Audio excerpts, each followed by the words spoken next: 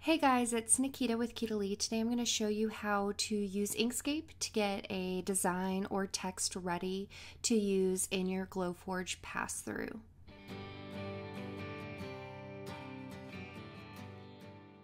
So first I'm going to want to get my artboard set up and I will go to document properties. I like to set it up at a width of 19 by height of 10.5. This isn't the size of your bed, however, it's the size roughly what the Glowforge allowed you allows you to cut. So exit out of that. And I'm going to do one for donuts. My son's gonna have a donut birthday party. So donuts, and I'm going to use the font Autumn in November. I really like this font cut out in um, on the Glowforge. So I'll link that in the description below. So size it up. And we're going to path, object to path, object ungroup, and then path union. That'll make all of the letters into one solid path. Next, I'm going to rotate it because that is the direction it will go through the Glowforge and the Glowforge pass. And I'm going to want to size it. Let's see here. This is about 19 inches wide. Let's go about 23. If you press this little lock, it will make these two go at the same ratio versus making it wonky. And then we're going to want to size it in there, see how it will cut. Um, so let's go about there. And this is a good point right here, right at the edge of that part of the N. So as I zoom in, we're also going to want to change the fill strokes and the strokes. So double click down here. We want a stroke. Let's just do green since that's what popped up. And no fill. So right here, we'll zoom in.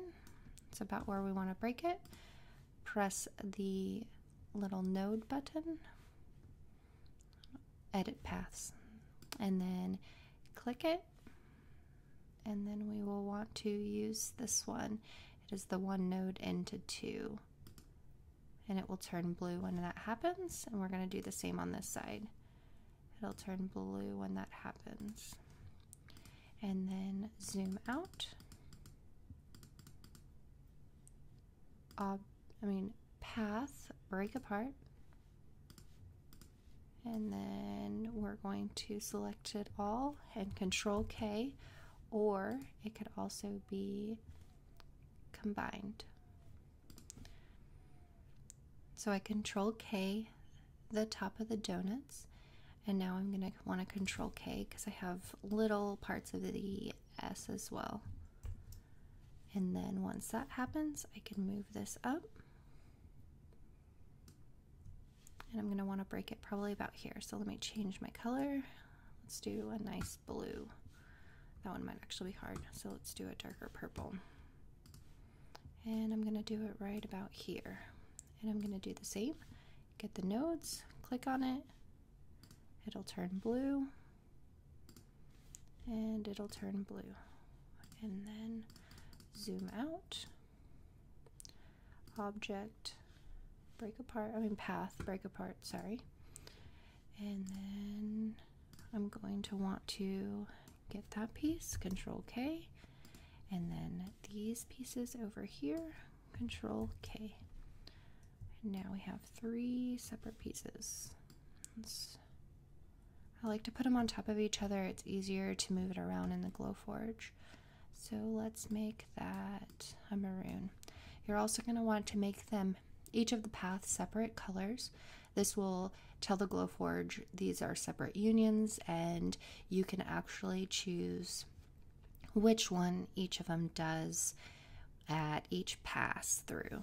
So if you see close up, you're going to want the edges to have an empty hole and that will be on all of them. So let's see here. The empty hole on the other side and then this empty hole right here. It won't have an empty hole at the edge. So then you will file, save as an SVG, file, save as.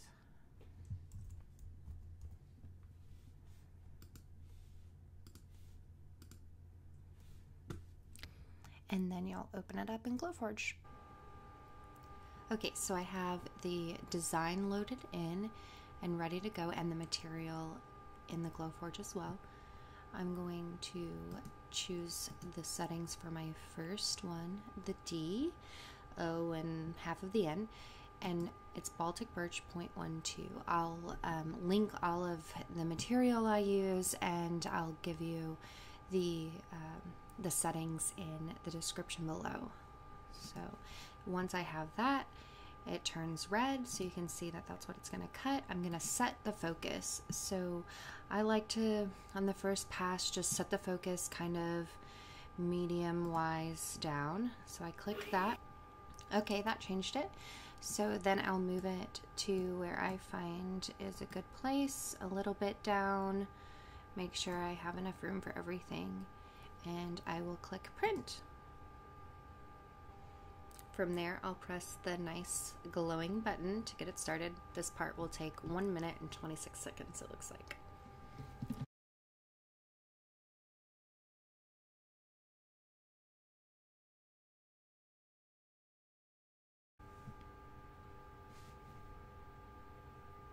Okay, so I had that cut, press dismiss. Now I'm going to go and ignore that part and do the second part. Cut Baltic Birch, and then I will set the focus. I like to set this at the point that I'm going to line it up. So set that focus. It's focused. Zoom in. Zoom in as close as you can. This will help better get it really lined up. And then it lined up right on that spot. Press print again. Once it's ready, press the glowing button, and that's number two.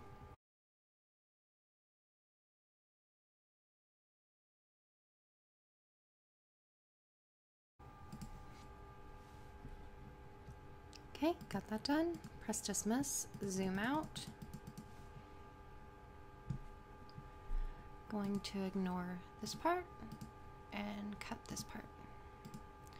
Last part and set the focus to one of those points.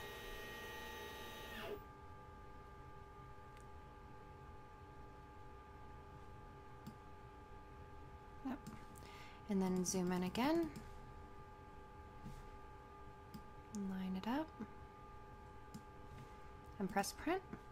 This will be your third and final cut.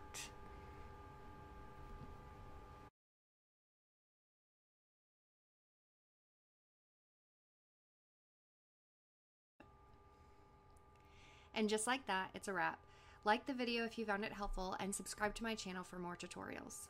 Thanks, happy crafting!